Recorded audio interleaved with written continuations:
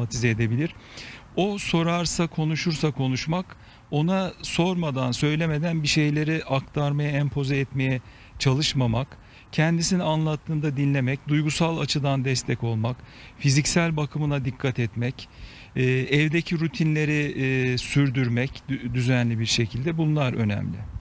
Bir yandan da tabii yetişkinlerle çocukların kaygı düzeyleri farklı, Evet. olaylara yaklaşmaları, algılamaları farklı. Çocuklar e, bu görüntüleri gördükten sonra, e, deprem görüntülerini, enkaz görüntülerini gördükten sonra bizim de evimiz yıkılır mı, bizim oturduğumuz binada çöker mi gibi kaygılandıkları sürece bu kaygı nasıl kontrol edilmeli? Aynı zamanda e, deprem anında çocuklara ne yapmaları gerektiğini nasıl anlatmalıyız? Şöyle zaten şu anda herkes hani kendi eviyle ilgili bir risk varsa o evin içinde zaten durmuyordur. O değerlendirme yapılıyordur. Eğer böyle bir risk yoksa da dediğim gibi hani bu e, tehlikenin kendileri için olmadığı depremin zaten yeni olduğu daha büyük bir deprem olmayacağı şeklinde gerçekçi yani böyle bir olduğundan daha pozitif polyanlacılık yapmaya da gerek yok. Ama e, yaşına uygun onun anlayacağı şekilde net hani bir şey yok bir şey olmaz demek çünkü çocuğu tatmin etmez.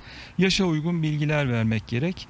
Onu da e, dediğim gibi hani sistemini karıştıracak bir takım detaylı açıklamalara gerek yok diye düşünüyorum. Özellikle 2-5 yaş arası çocukta daha basit. Zaten 5 ila 10 yaş arası çocukta daha anlayışlıdır. Ee, onun anlayacağı şekilde anlatabilir. Ama en mühimi hangi yaşta olursak olarak olalım. Hani yetişkinler de dahil olmak üzere e, böyle e, işte çok e, acı görüntüler, çok e, cesetler, yıkıntılar hani bunları çok fazla izlemenin herhangi bir anlamı, önemi yok. Çünkü zaten herkes o gerçekliği biliyor.